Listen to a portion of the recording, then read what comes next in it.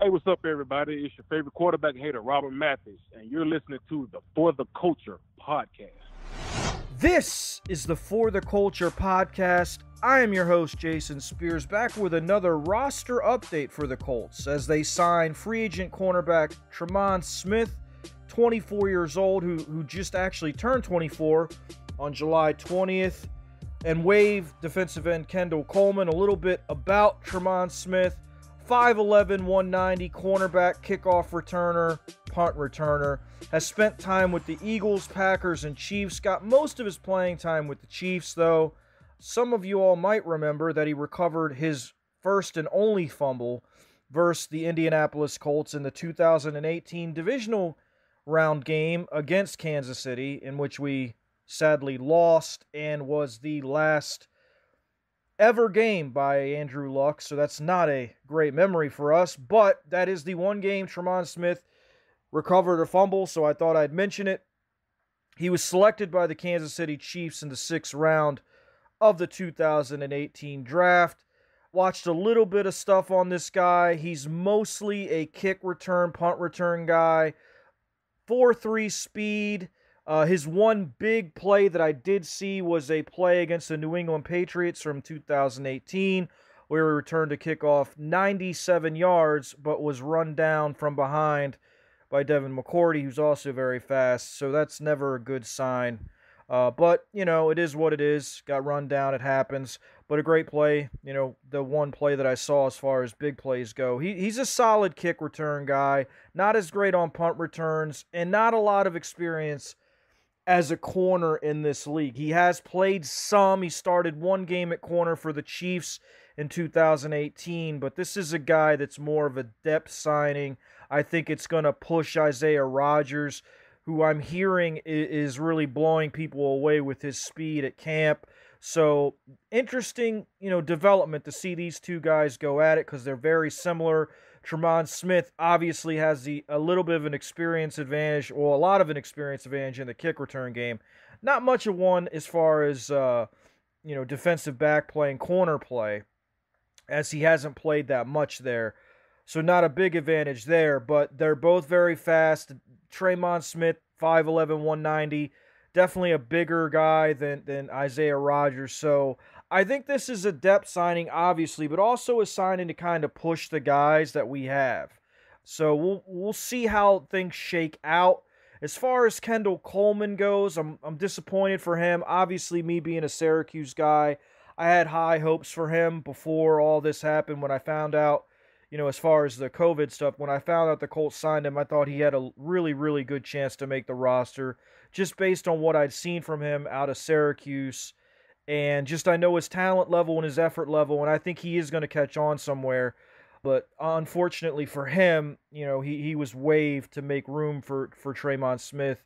You know, I've never really got into the COVID stuff as far as the effect it will have and, and has had on the roster. I think this is a prime example because Kendall Coleman, he never even got to a padded practice. And so he didn't really get to show what he can do. I mean, let alone a game like a preseason game. Obviously, not having preseason games this year is very, very going to be very tough for undrafted guys and late round guys because you're going to have to show whatever you can do in practice. And if you're not a good practice player, and let me tell you, throughout history, there's been some really great football players that have been horrible practice players. One that comes to mind is Derrick Thomas who was a terrible practice player, but when the lights came on, he was he was a Hall of Fame player, no question. Absolute monster on the field.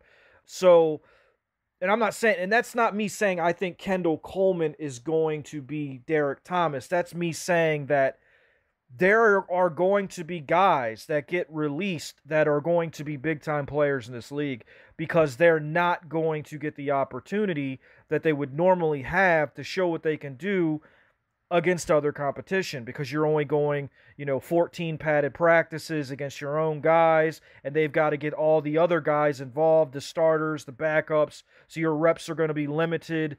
So this is a very tough thing, man. I mean, I'm I'm never one to uh to say, you know, things are super rough for for pro athletes, but this is one year where I mean, it's just tough, man, for undrafted rookies and and late round picks to really to really make an impact or make the impact that they might possibly have had had they gotten the opportunity to play in some preseason games. And we all know Frank Reich was going to play young guys, late round picks, undrafted free agents a ton as as all teams do in the preseason. So that is something that I think has has really affected these these young players. Unfortunately, it's a side effect of COVID. I mean, it is what it is. You've got to make the best of it.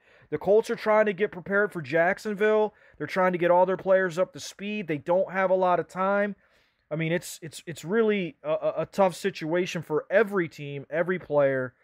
It's just not. I mean, for everybody in this country with this COVID thing, it's just it's unfortunate. Hopefully, it gets worked out soon. You know, and and we can slow this thing down and get back to a normal life. But for now, it's it's the way it is, and this is the NFL for 2020. I mean, you're going to see a lot of roster shakeup. I mean, this is this is what two or three moves in the last week for the Colts, and they're generally not. They they do a lot, but I think you're going to see more turnover in roster in 2020 across the league more than you've ever seen.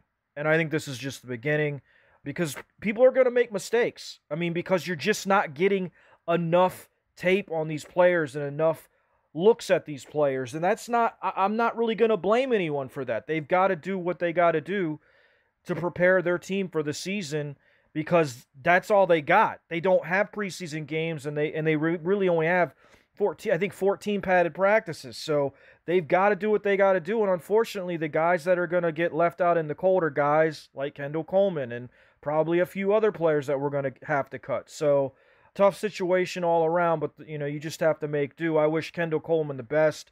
Really, really solid kid, a good player at Syracuse. I think he will catch on somewhere. If nothing else, I think he will get a practice squad invite from somebody who knows it could be the Colts. So, best of luck to him. But as far as Tremon Smith goes, I think this is definitely, you know, just a depth signing for corner trying to push maybe to see if they can improve the kickoff return game. Maybe him and Rodgers, maybe they're they're they're going to battle it out. We'll see what happens, but I, I certainly don't think this is going to be the last of roster movement. And you know, with like I said, with COVID being what it is and the effect it's having on every league, you know, whether it's played in a bubble or played in an empty stadium or whatever, it's had an effect on everything, everyone's life, every I mean, just everything. So hopefully, you know, we all hope and pray this thing comes to an end sooner than later. But for now, we've just this is what you know this is what the 2020 NFL is, and and you know it's going to be roster turnover like you've never seen. So hopefully, you know we we get a little bit more insight into what's going on in camp over the next few weeks. Obviously, they haven't really allowed much uh, as far as media access to the practices and whatnot. Hopefully that changes a little bit so we have more of an idea what's going on out there. I have heard that T.Y. Hilton has looked great in practice and, and really developed a rapport with, with Philip Rivers that's continuing to improve by the day just a few notes that I, you know, that anyone can read. It's on Colts.com. I mean, I don't have any special inside information, just stuff that you read on Colts.com, and they're not going to be telling you, oh, so and so sucks, or this guy's playing bad. So we have no idea what they're seeing out of their corners. We have no idea, you know, if somebody's not playing or whatever, or eh, you just don't know because the the access is so limited. But hopefully, like I said, that'll change over the next few weeks, and we'll get a little bit more insight from writers of what's going on within the Colts, you know, practices because we really we really don't know. So with that, I'm gonna wrap this up. Just want to jump on here real quick and give you my thoughts on on this signing. We will be back later on in the week, probably with a Q and A.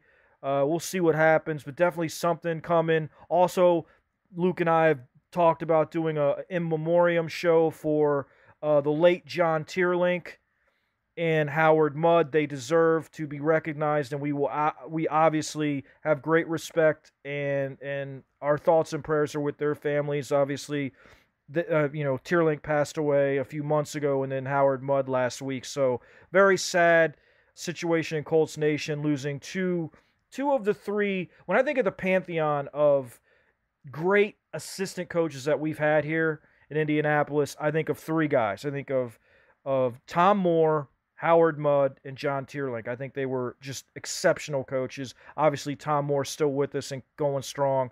Uh, loves the game, and I think he'll be around it forever as long as he's walking this earth. So, but yeah, we will we will do a show paying our respects to those two guys and kind of a career a memoriam on both of those great coaches and the players that they coached and uh, you know it's it's tough but you you want to pay respects to the greats and and we'll, we will talk about those guys in a show coming up. So stay tuned for that. Hope you guys are doing well man. Hang in there. Football's on its way. Coming soon. Luke and i will be back with a, show in the next few days here on the for the culture podcast